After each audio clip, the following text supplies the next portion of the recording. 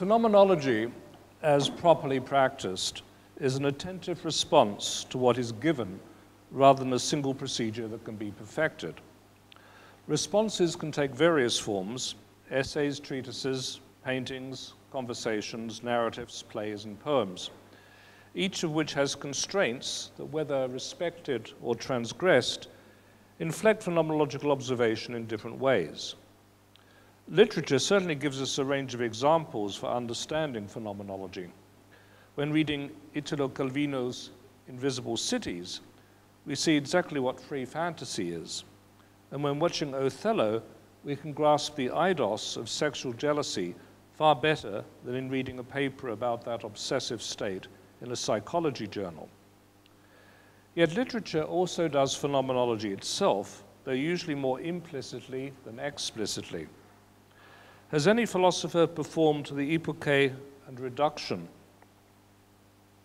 more effectively than Franz Kafka, supreme artist of the opening sentence?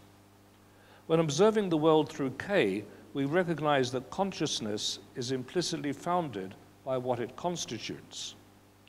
Similarly, William Faulkner performs a startling phenomenology of time consciousness in The Sound and the Fury without knowing anything about Edmund Husserl's reflections on the topic in the first volume of his Ideas.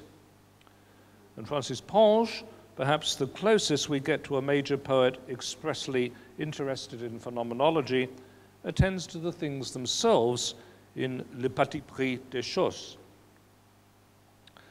The list could be continued, the names of the authors varied. We have competing analyses of the work of art from diverse phenomenological perspectives, those of Roman Ingarden and Martin Heidegger, Maurice Merleau-Ponty, Mikel Dufrenne. Yet there is still much to be learned from Husserl, who in 1907, just before giving the lectures that would comprise the idea of phenomenology, wrote of the kinship of the phenomenological and aesthetic gazes.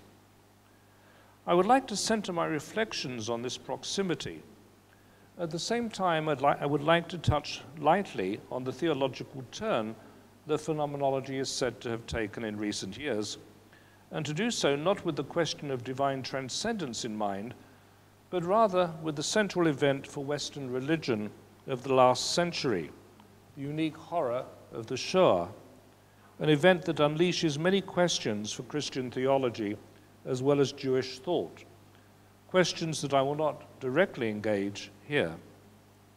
Throughout, I want to remain close to one poem. Its title, September Song. Its author, Geoffrey Hill.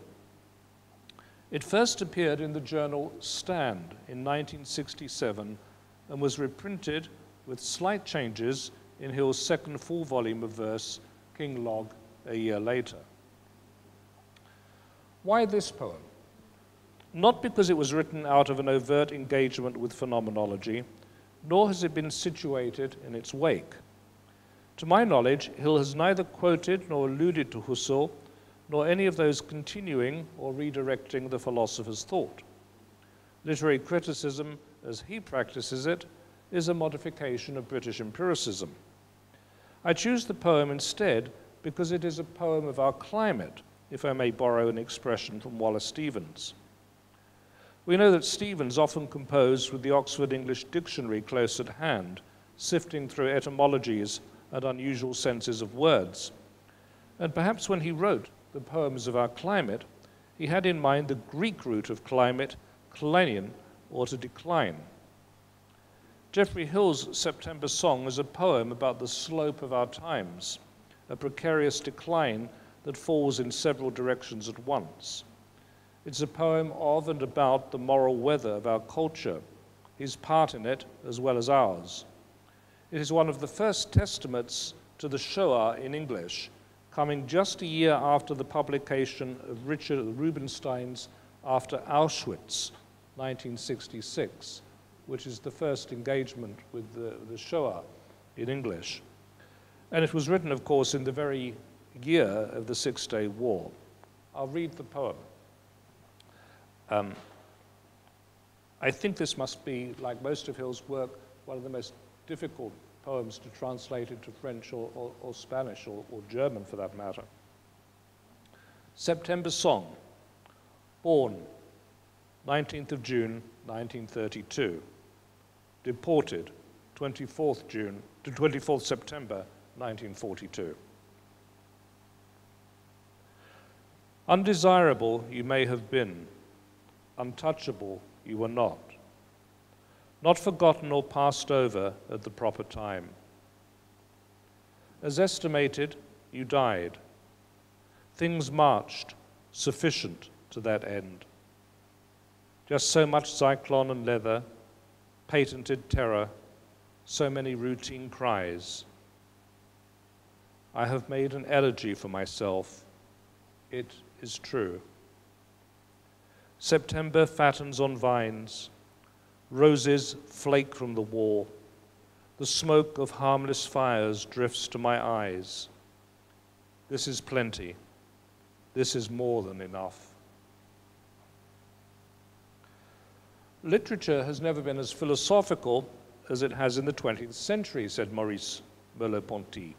Never has it reflected as much upon language, truth, and the significance of the act of writing. Why does Merleau-Ponty place the word philosophical in scare quotes, presumably to respect the distance between literature and philosophy and to allow a philosophical mode of activity that is not philosophical, not philosophy as such. Jacques Derrida would agree. He tells us that modernists share a common situation. They are inscribed in a critical experience of literature, he says. They bear within themselves or we could also say in their literary act they put to work the same one, but each time singular and put to work otherwise. What is literature? Where does literature come from? What should we do with literature? Modernist writing may not create concepts or reduce arguments, but it folds questions of a philosophical type into the literary models that it receives and revises as Derrida implies, the border between literature and criticism becomes blurred and divided in modernist writing. And if that's the case for Eliot and Joyce, it's all the more so for a belated modernist such as Hill, and especially so in a poem such as September Song. Critical objections to writing poetry after Auschwitz, to the morality of representing the Shoah, if it is even possible to do so, must be engaged by the poem itself. Derrida goes further and talks about literature's rapport with philosophy in general and with phenomenology in particular. When he does so, he makes liberal use of quotation marks, sometimes to hold the word at a distance, and sometimes to show that it is a question. And this is a passage from one of the texts that David was, was uh, bringing to our attention yesterday. Poetry and literature provide or facilitate phenomenological access to what makes of a thesis a thesis as such. Before having a philosophical content, before being or bearing such and such a thesis, literary experience, writing or reading, is a philosophical experience which is neutralized or neutralizing insofar as it allows one to think the thesis. It is a non thetic experience of the thesis of belief, of position, of naivete, of what Husserl called the natural attitude. The phenomenological conversion of the gaze, the transcendental reduction he recommended, is perhaps the very condition, I do not say natural condition, of literature. Note that Derrida begins by saying poetry and literature. They're not one and the same, however literature becomes a way of framing poetry, prose fiction, and drama only in the late 18th century, at least in Britain. It's a modern formation, and while it impinges on how we think of poetry, it is at heart alien to poetry, which is always a making, although not always a fiction. Since I'll be answerable to a poem, I will talk only of poetry, while remaining mindful that modern poetry, including modernist works, strives with and against its framing as literature. We might wonder why Derrida places the word phenomenological in scare quotes. He does so because a poem performs the epoche and transcendental reduction, without in most cases the author having any deep familiarity with either. A poet is already doing phenomenology as soon as he or she starts to write. For composition, at least the sort of a composition we call poetry, suspends the natural attitude and shows the writer's intentional consciousness to be concretely embedded in the horizons that common sense occludes.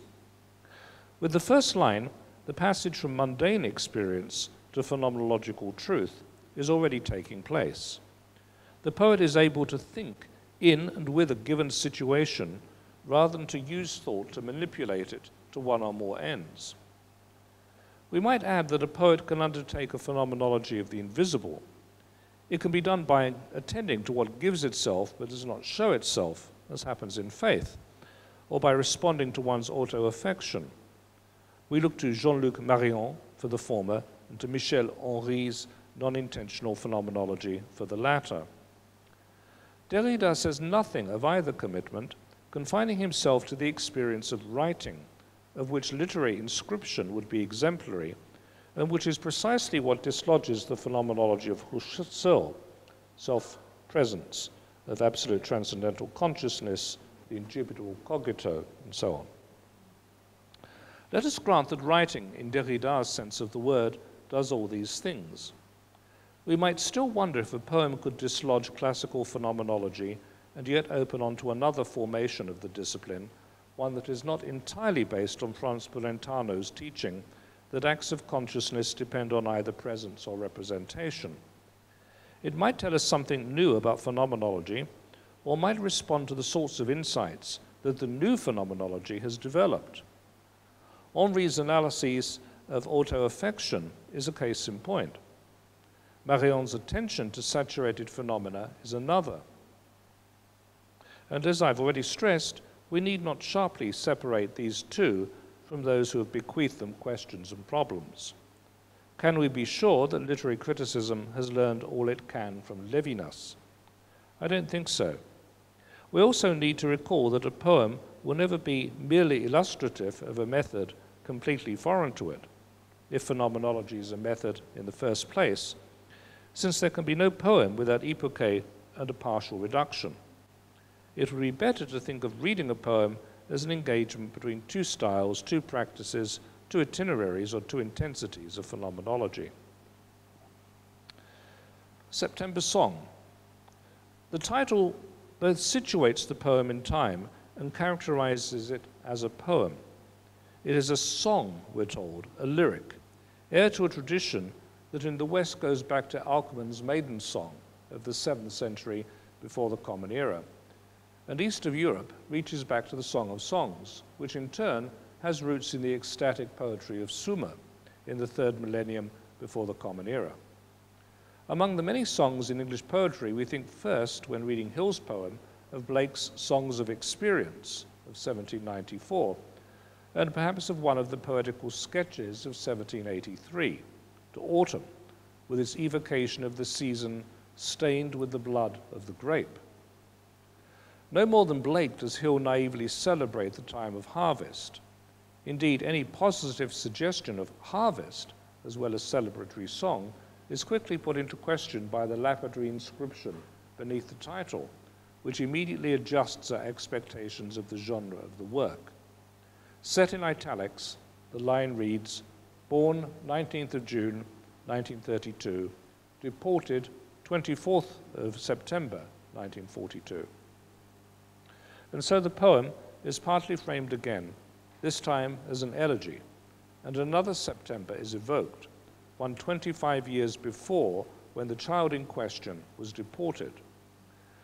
We do not need to labor the point that to be deported was a prelude to death by malnutrition, exhaustion, or execution, nor do we need to surmise why the child was deported. So this lyric will not inherit from songs addressed to a god or a great man, nor from drinking songs or folk songs, but from the memorial lyric addressed to the dead, such as Aristotle's paean for Hermias. As we shall see, the lapidary inscription is as important for what it does not tell us as for what it does. No name of the child is given, nor the reason why, out of all the children deported in 1942, this one is addressed. Already the lyric has folded poetic traditions tightly into itself, not by virtue of its form, but by allusion to genres. It begins by addressing the dead child, using prosopopoeia, the figure for crafting a face. The figure is barely used, however, for the profile of the child that begins to appear does so entirely in terms of negatives. The child was undesirable, but not untouchable, certainly not forgotten or passed over.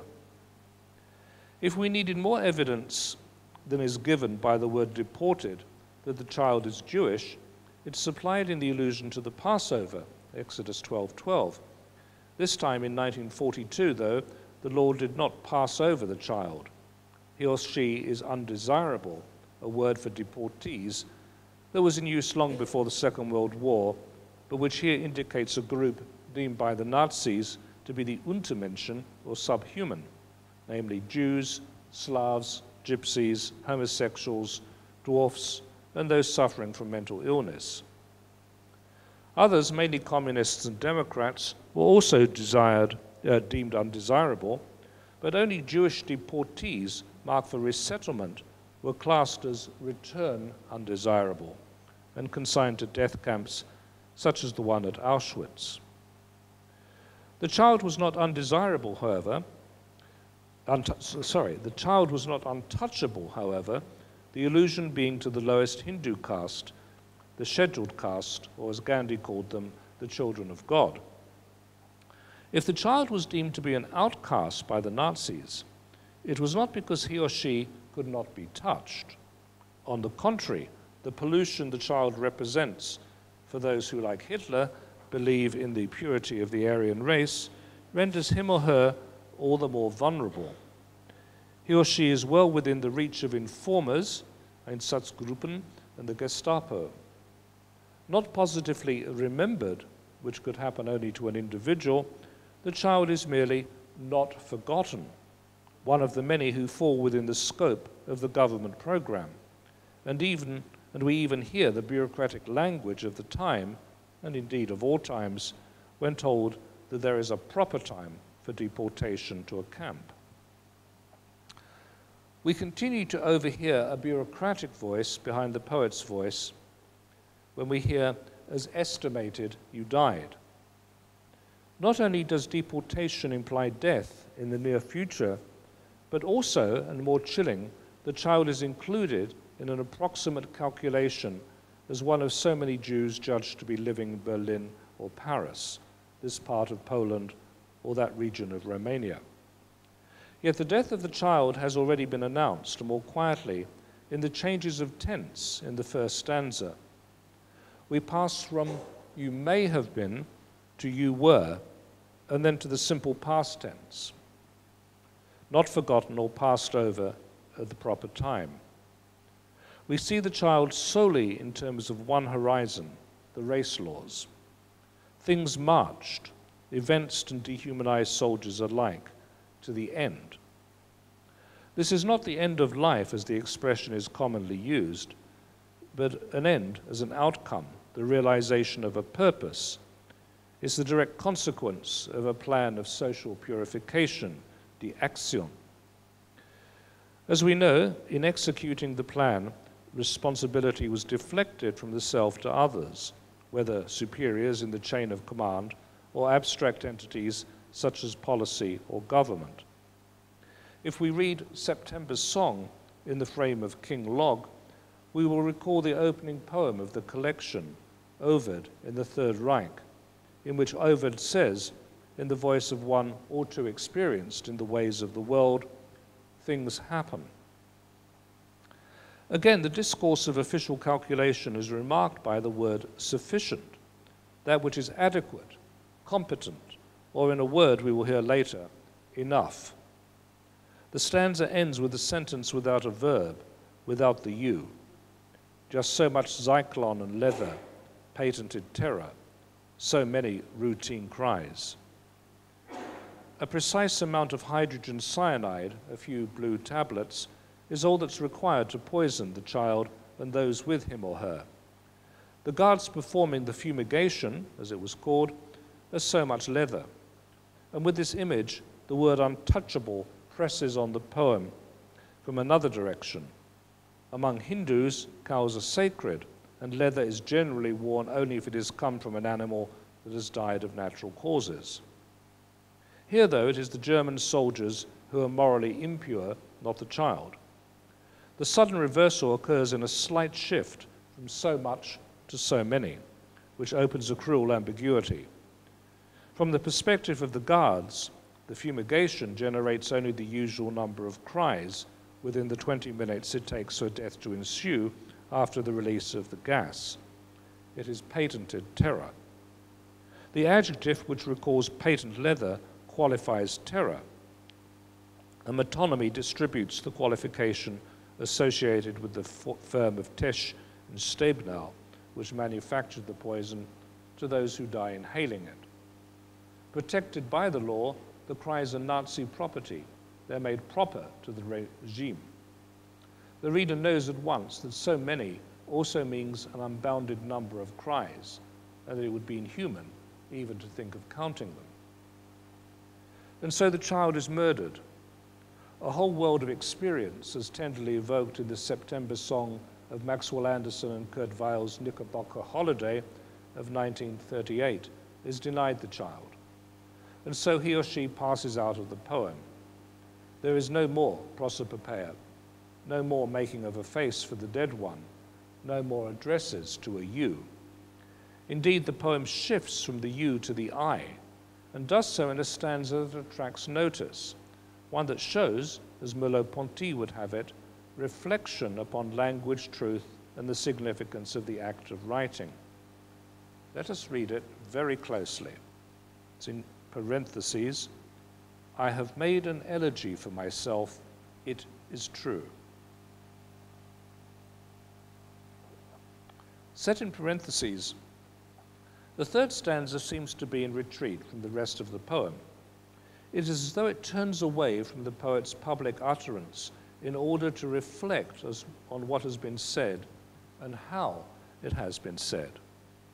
In a poem in which lines are run on more often than not, this stanza has a particularly violent enjambment. It is true in which more than one philosophical issue is at stake. Yet the third stanza does not hide from the poem in all respects. The lapidary inscription announces that the lyric will be an elegy of a peculiarly modern sort, one in which deportation has become official jargon for death. But now we're quietly told that the elegy is for the poet, who presumably has never been face to face with horror. Is this a moment of self reflection, as in Wordsworth's lines about the boy of Winander in the prelude? Not quite.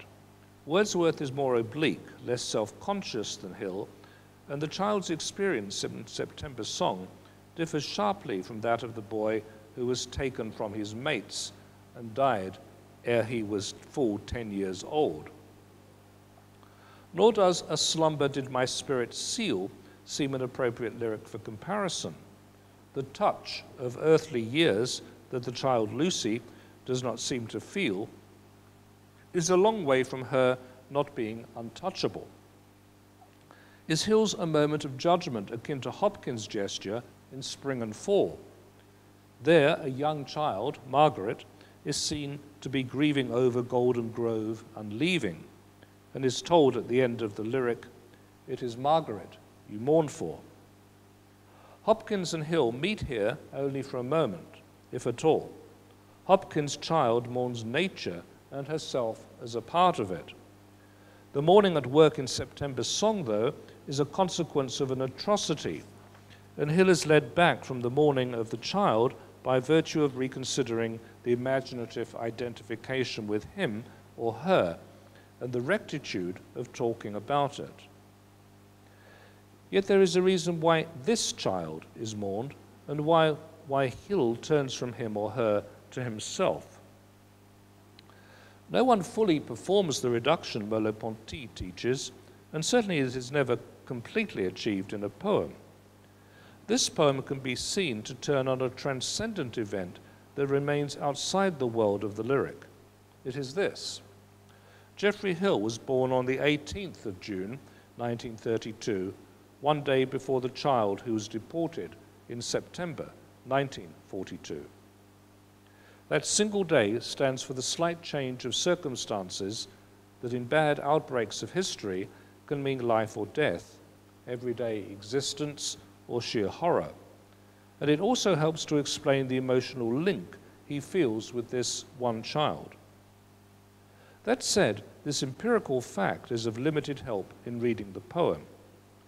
More significant, I think, is that the you of the poem, the Jewish child, remains somewhat abstract until the I appears to disown him or her. And disconcertedly, the sheltered appearance of the I draws attention to something uneasy in the elegy and perhaps in all elegies. Addressing the child in the first two stanzas, Hill is utterly powerless as a speaker. Because the child is not present, all he can do, strictly speaking, is report an empty intention.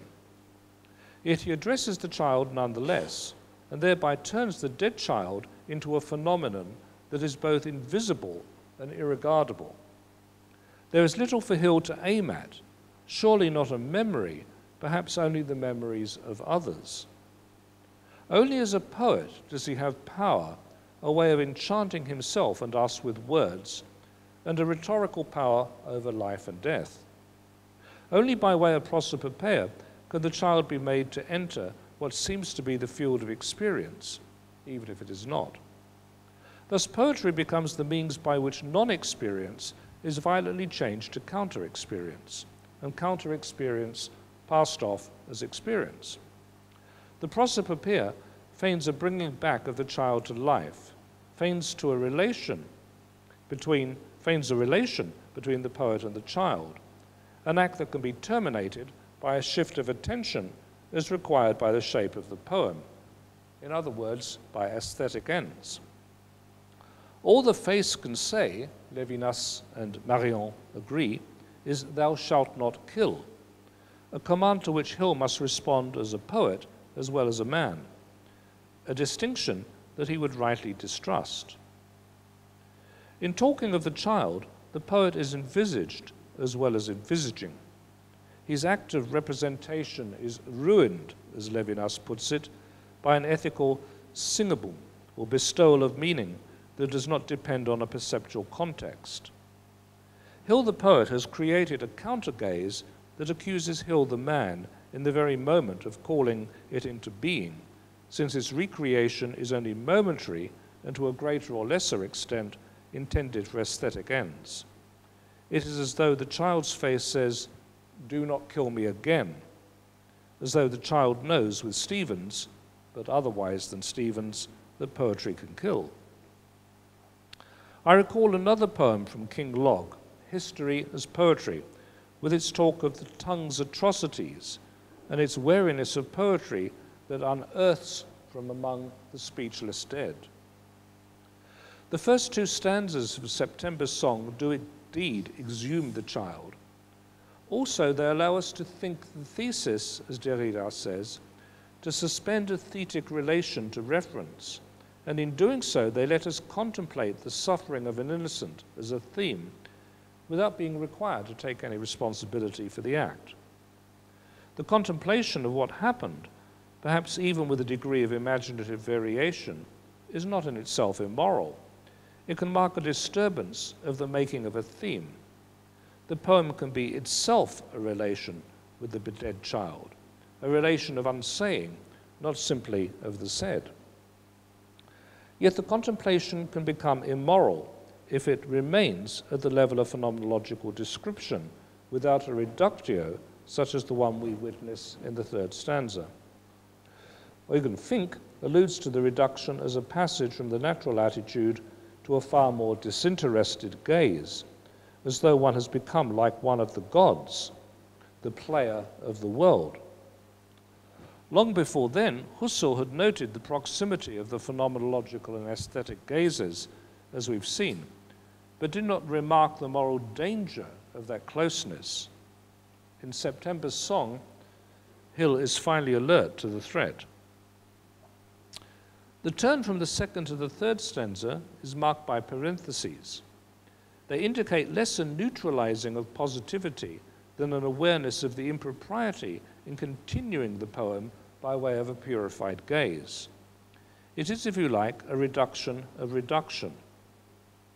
I doubt that I'm alone in hearing an oblique acknowledgement of Dylan Thomas's well-known poem, A Refusal to Mourn the Death by Fire of a Child in London of 1945. Thomas's child is also a victim of war, a German air raid on London late in the Second World War. Here too are Jewish references, though ones that have been thoroughly naturalized and neutralized. Zion of the water bead, synagogue of the ear of corn, the valley of sackcloth, as has the Christian reference to the stations of the cross. The lyric is a sustained instance of occupatio, in saying he will not mourn the child until his death, will not, mourn the child until his death, he does precisely what he says he will not do. Yeats is a vanishing point in Thomas's poetic world, and even more than Yeats's poems, including his elegies, a refusal to mourn is a high-toned and supremely self-confident uh, rhetorical performance, one that luxuriates in language and in the freedom of the poet to refuse to mourn and yet to mourn, to involve both nature and himself in the event, to use biblical and ecclesial language while denying a central Christian teaching in the final line. Nothing could be further from September Song. Formally, the poem eschews the satisfactions of ripe stanzas of varying line length and intriguing rhymes. If we look at King Log, we find that September Song is the fifth poem in the collection, and the first both to break with form and not to begin each line with a capital letter. Not only is the amplitude of a bardic voice declined, but so too are conventional signs of its own status of a poem in conversation with a rich tradition.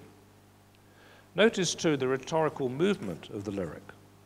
We pass from talking to the child to talking of the child.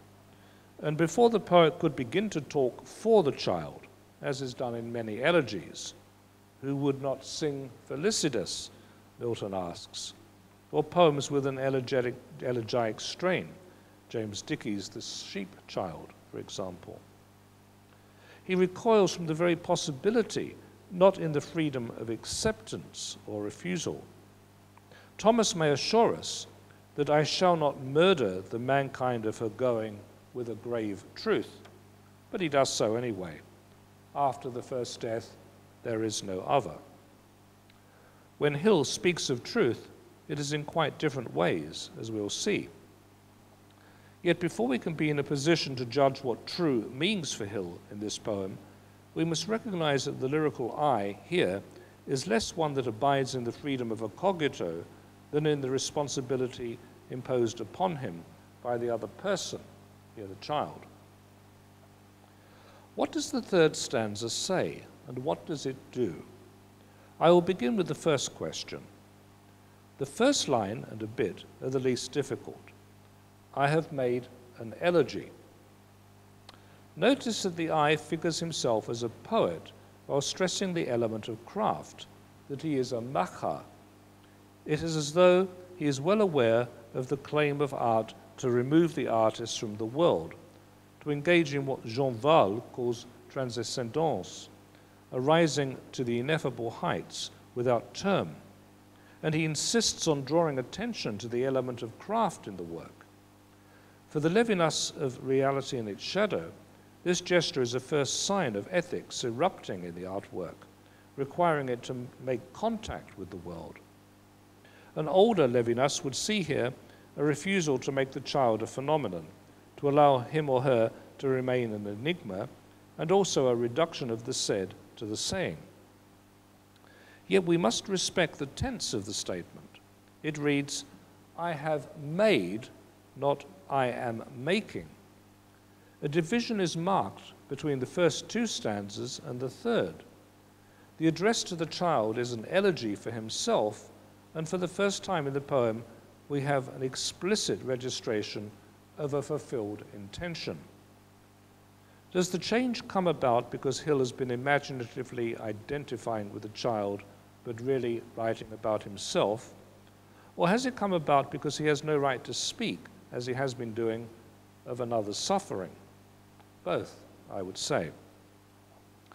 Only the first reason for recoiling from his own poetic stance brings Hill into relation with the poems by Wordsworth and Hopkins. The second reason is the more original and the more sobering, and it prompts us to reflect further upon the expression, an elegy for myself. For it also means that Hill has made an elegy, a poem, for his own aesthetic delight, for the enlargement of his poetic repertoire, and at the cost of erasing the child.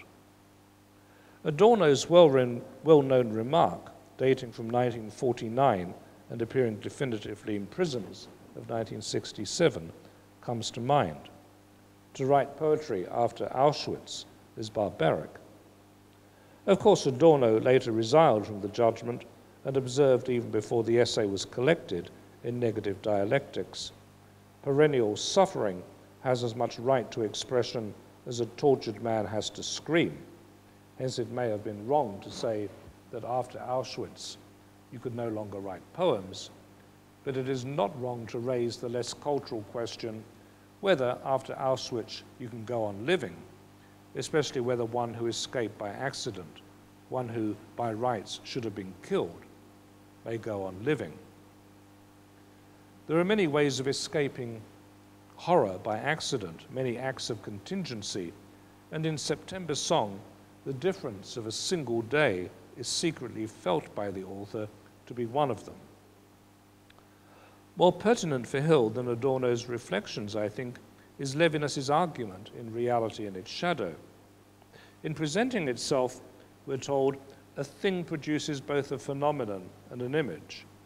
And attending to the latter leads us away from the world and the inexorable demands of justice for other people. Levinas's judgment on aesthetic delight is among the harshest in Western philosophy. There is something nasty, selfish, and cowardly in artistic pleasure, he writes. You feel like saying, What do you really think, Emmanuel? Let's just say, put it clearly. There is something nasty, selfish, and cowardly in artistic pleasure, he writes. There are times when one could be ashamed of it, as if carousing in a town struck by the plague. Most writers will recoil from the judgment, crying unfair but the Hill of Annunciations, Poetry as History, and September Song would be in firm agreement. It is easy to imagine a new phenomenologist seeking to interpret the brackets of the third stanza. One might say, following Michel Henry, that there we have the invisible revelation of the poet's subjectivity. The poet's intentionality is unable to determine a relationship with the dead child, and so his mourning must be explained in another way. What Hill's concern for the child manifests is precisely itself. I have made an elegy for myself, and the manifestation is invisible.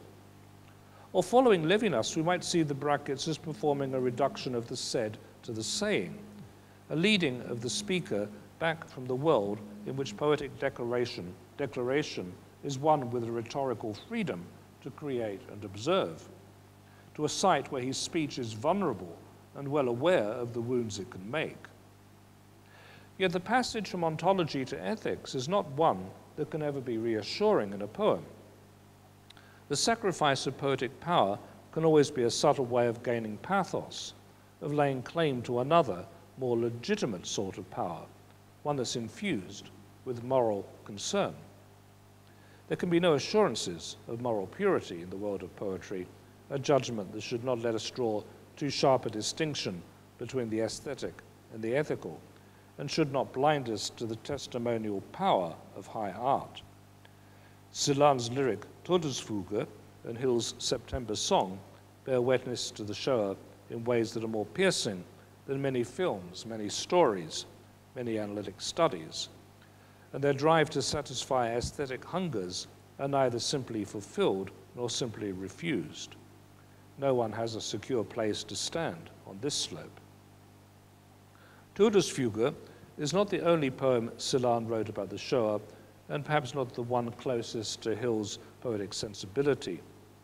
A later lyric, such as Die Fleißigen, might be a more exact parallel in terms of a shared poetic. Yet Todesfuge provides the sort of contrast that is needed here.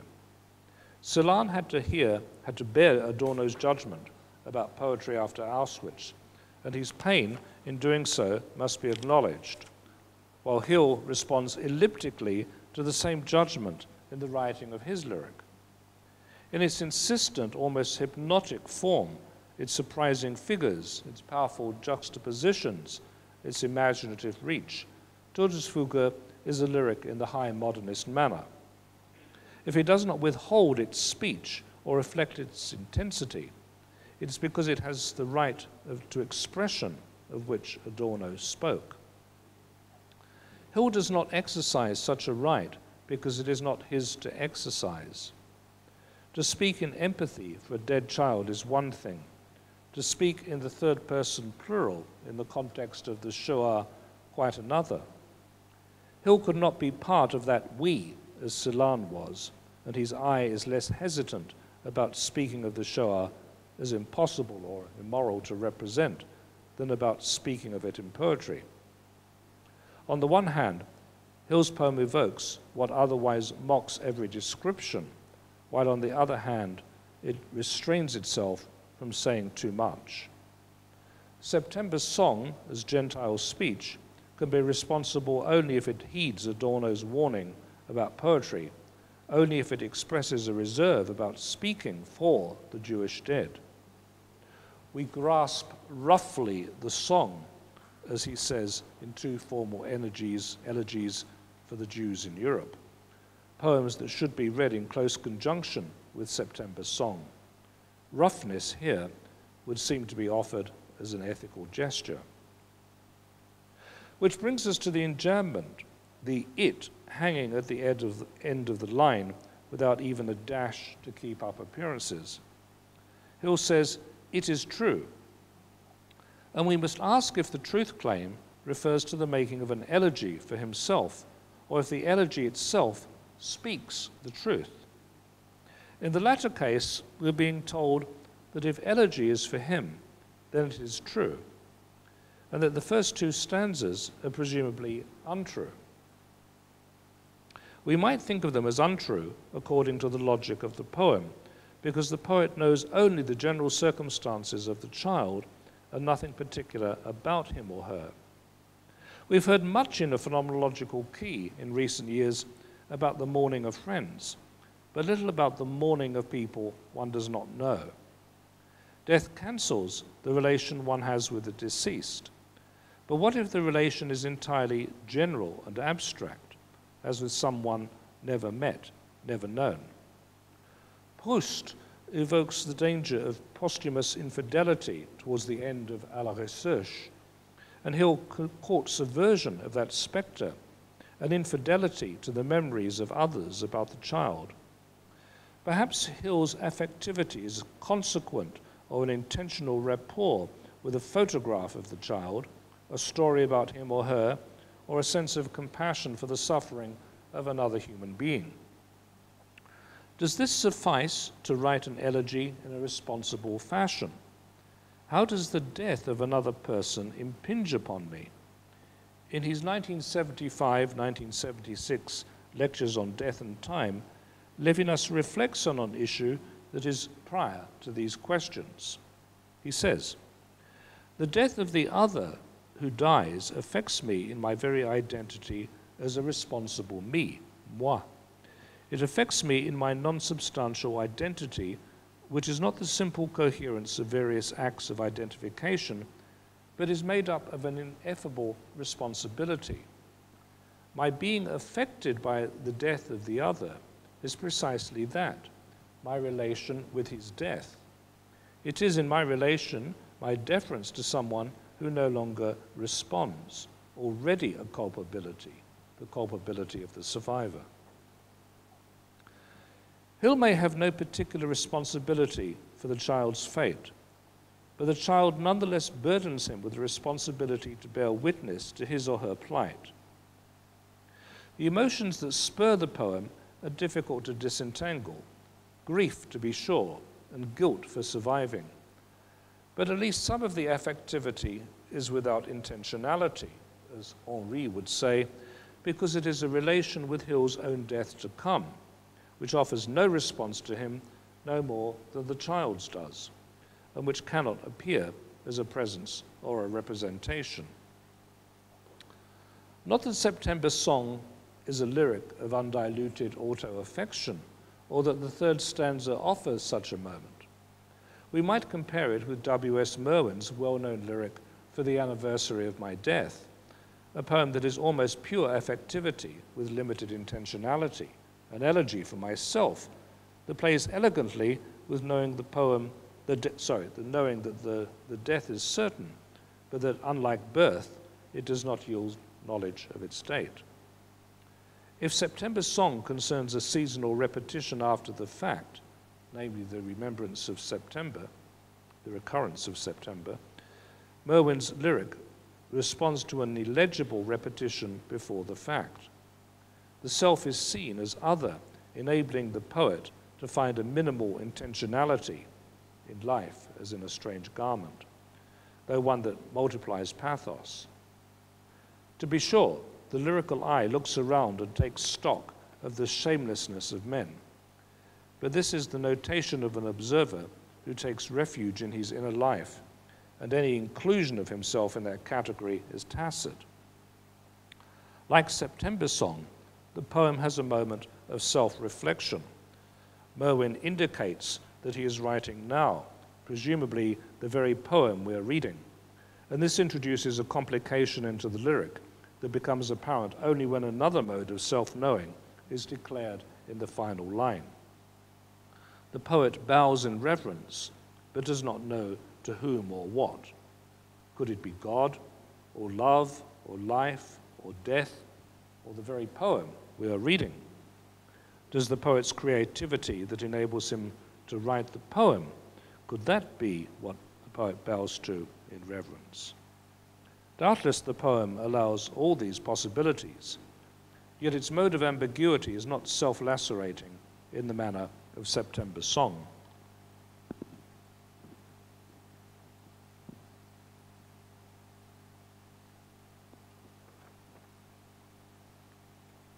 Let us return to Hill's poem. It addresses truth, not knowledge though not in the straightforward manner of a thesis. We're not told of something that it is true, but of each of one or more thing that it is true, which is hardly the same. For the third stanza puts at risk whether a truth claim is actually being made in the first place. The enjambment, it is true, can mean I concede that the elegy, which seems to be for the child, is in fact for myself. And it can also mean the elegy is true to life. It shows that we seek to speak for the other, even when we do not know what we are saying or even have the right to speak. Or the elegy is in good tune, a proper poem, despite appearances. Or the elegy shows loyalty, faithfulness. It is true to myself, to my feelings for the child, if not the child himself or herself, and the child's inner experiences which are hidden from me.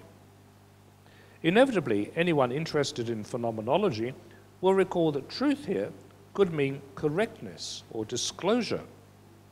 So, I have made an elegy for myself would be correct if it confirms the way things are and true if it indicates a disclosure of a state of affairs, such as the poet recognizing that only he is present, not the child.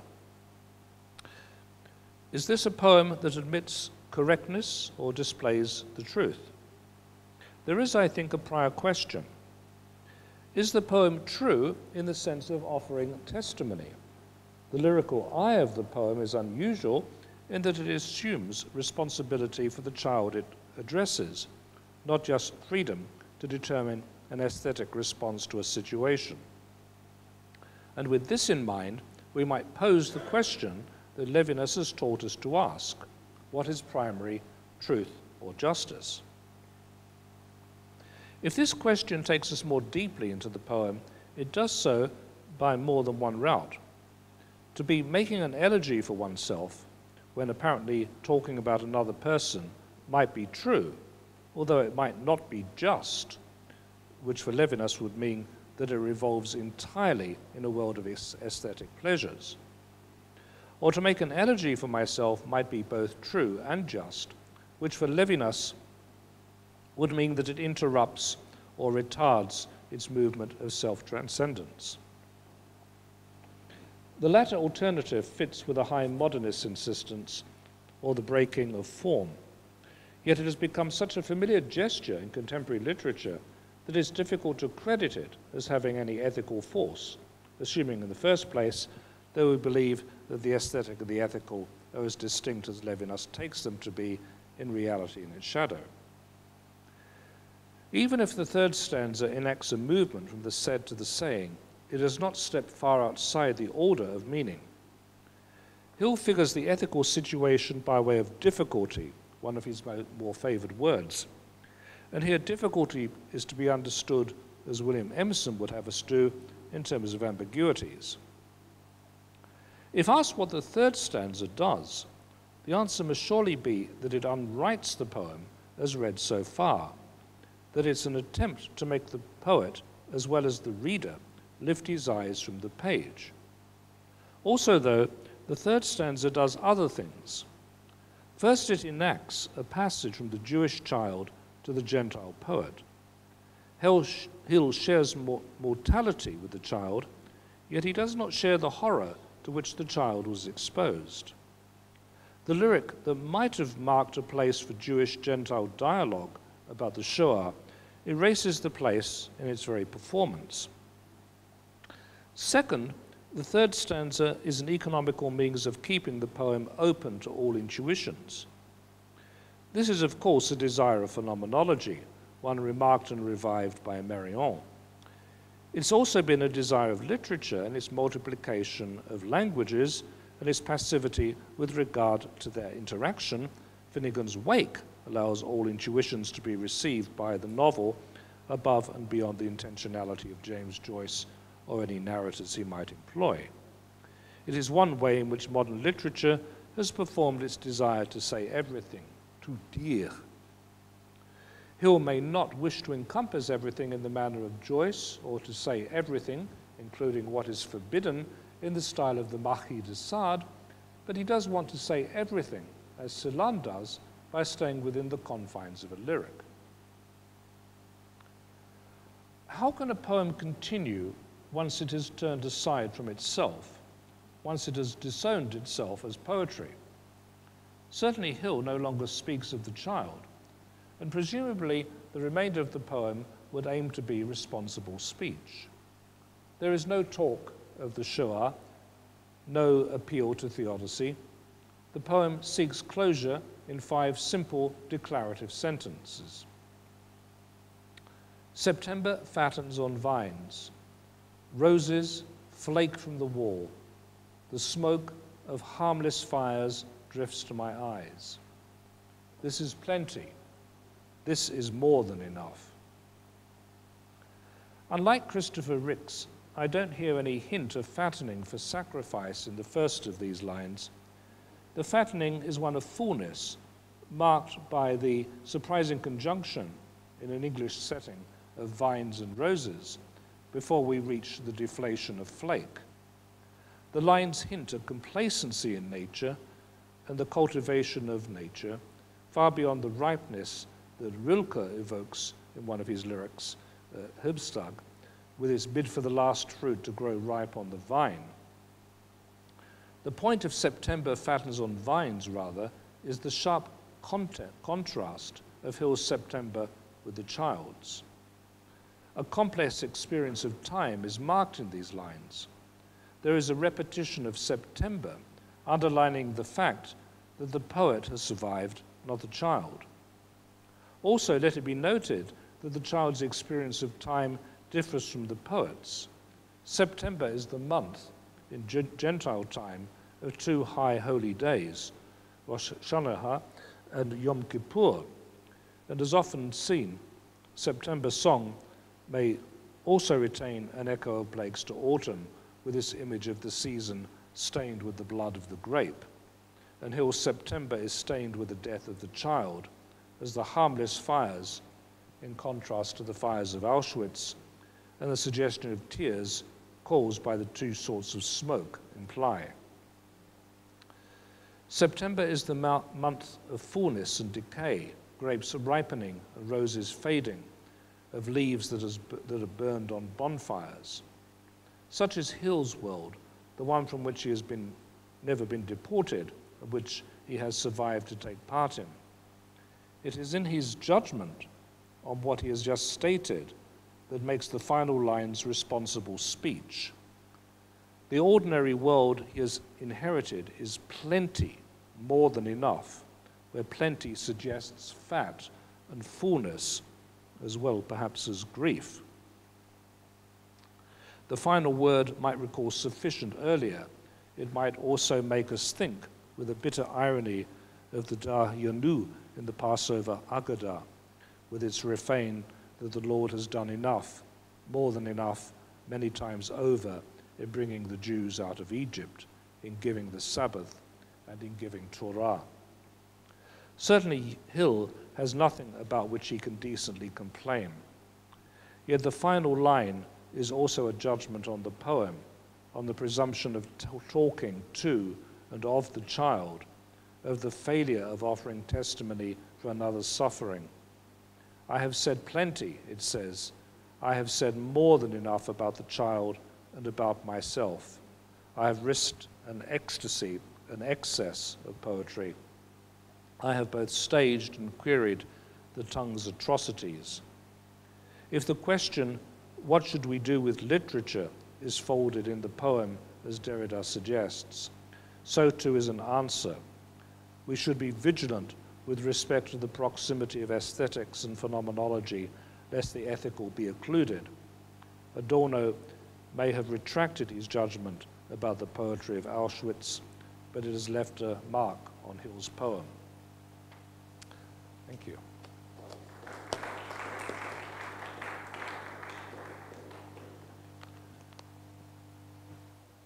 Happy to answer any questions, especially if they're in English.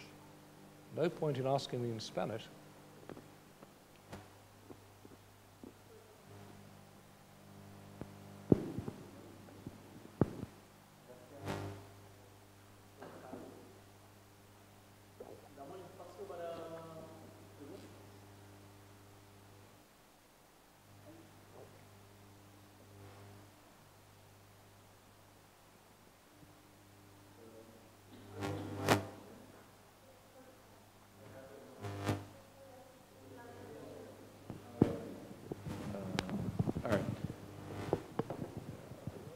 I don't, I don't know that I really have a question, but, I, but since everyone was looking at me, you know, like, because I speak English, uh, like you, um, I thought I'd start, and then they would maybe... Your English is terrific, by the way. Thank you.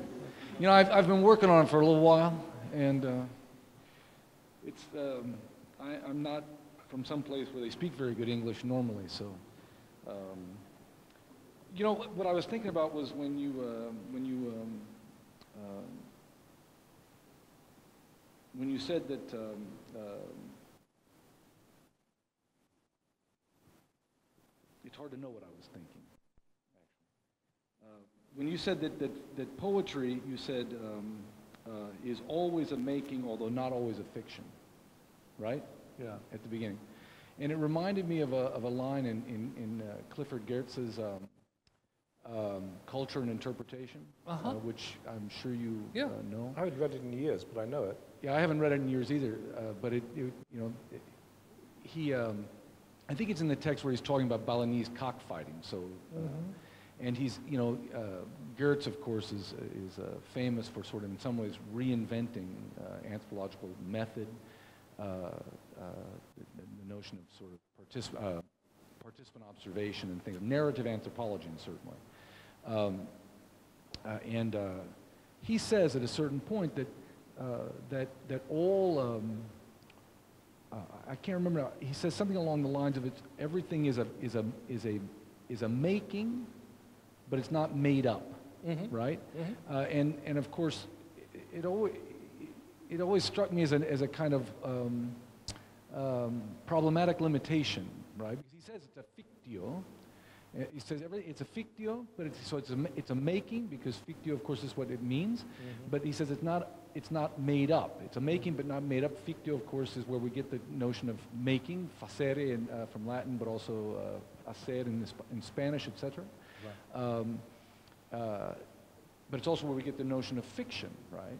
And it's like, I, and, and so it, it, it seemed, and of course, I guess my problem is why the limitation? Why is it not, why is it not always a fiction? I mean, why is poetry not always a, in other words, it would seem that poetry is essentially a making, which is a making up, right? Yeah, And, and here, in the poem, uh, you know, the, it's, uh, it's, I mean, in a certain way, I get it. I mean, I, I think I get it, and I, and I, I, I, I don't have any idea how it's not, I mean, it's, he's deported on 24 September 42, Mhm. and everything else, if it's about his death, is made up in a Mhm. certain way. I mean, it's not, it's not, an, it's not what we, you know, it's not completely invented, but it's made up in a certain way. Right, right. And, which is to say, it's a, it's a fiction, right? Um, so it was, I, mean, which is not a criticism in any way, right, of, Yeah. of your reading it, but it, it's simply to, to ask why the, why the necessary distinction? Why say it's, it's, it's a making but not made up? Yeah, I suppose the point is that the, the, the poem is a testimony to a particular event, that it's not simply a fiction in the way that one makes up a story. Um, so it's obviously, as I was taking pains to, to show, that the thing is concerned, at least in the first half when the child is being addressed, to an empty intention. I mean, he doesn't know the child. He, may, he can't have a memory of the child, indeed. So ph- phenomenologically, the opening four, eight lines or so are an empty intention. To that extent, it is fictional. It must be. He can't, he can't be. But when he, when he then reflects upon what he is doing and tries to shift the ground to make it a testimony, and in fact really is concerned with a forked testimony, a testimony about what happened to the child and about his own mortality, and the one day which separates him from the child, then I think he wants to offer, he- he's calling into question that which is um, fictional and that which is true. But of course, the very notion of truth is, is, is called into question too. So I suppose I drew that distinction at the beginning in order to um, set the scene for that kind of phenomenological worrying about it, and then Hill's own worrying about it of a rather different sort. Yeah, that's all. Yeah.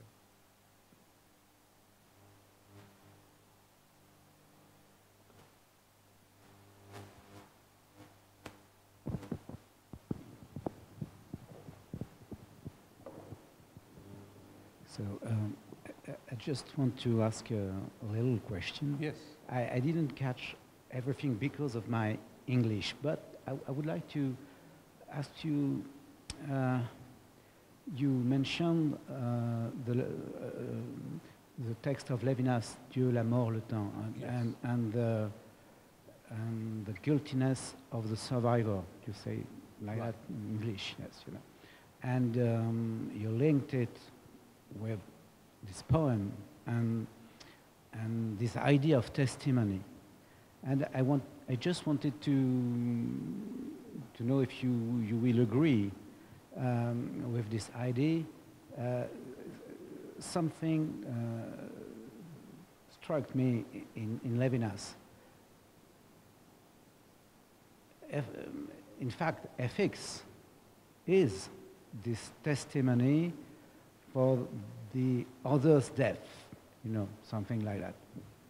Uh, and, but it has nothing, it has no, no, no connection, no, it's something absolutely different from something like a duty of memory. Yes. It's absolutely not a duty Yes. of memory Yes. in Yes. Levinas. And so this poem is a testimony, but is nothing like a duty of memory in a way. So I would like to, to know what I you think about it. Yes. I, I, think, I think it's quite a different situation. When, um, when Hill ends the poem by saying of the poem itself, this is plenty, this is more than enough, namely the elegy must be highly circumscribed. One must not go on rhetorically in, in, in giving uh, aesthetic satisfactions. What he's drawing attention to, I think, is a certain guilt that he feels in writing a poem and generating aesthetic satisfaction for himself and the reader, which could well include moral uh, reflection upon what, what has happened. So, to the extent to which it is a poem and generates aesthetic satisfactions, he feels a certain guilt. So it's that sense that I was trying to take from it, which is a different thing from evidence, of course.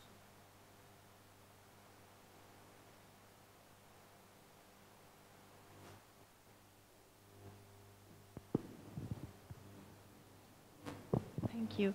So, so uh, uh, connecting to what you have just said, uh, would that be the explanation of um, the third tenses in, into brackets, It- uh, yes, into parentheses? yes, Because uh, you, you have talked about it, but I couldn't catch everything. right. But the poem is always directed to, uh, addressed to you, and then there is this parenthesis which is uh, an I.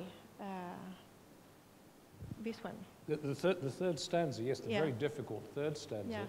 where the whole poem, I think, from the very first word, as it were, forms some kind of reduction, like all, all art, at least a partial reduction. What you get in the third stanza is, I think, a kind of reduction within the reduction. And the very fact that he parenthesizes it, he's trying to neutralize some relation he has with regard to the prosopopeia of the child in the first two stanzas. And so he recognizes that he's not simply proposing a thesis of mourning, that he's including himself in a pre-thetic manner. Mm. That's, that, that's, that's, the, that's the issue, I think. And so it's that kind of extreme self-conscious moment where he reflects upon the ethics of aesthetics, we might say.